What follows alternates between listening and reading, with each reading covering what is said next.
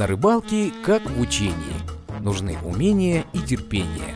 Многие считают это увлечением.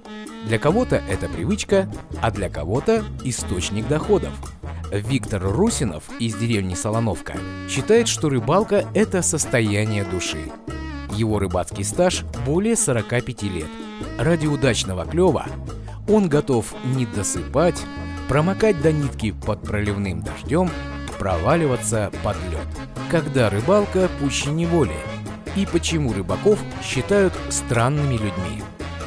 Смотрите программу «Местные жители» с Оксаной Савочкиной в пятницу в 20.30 на 12 канале.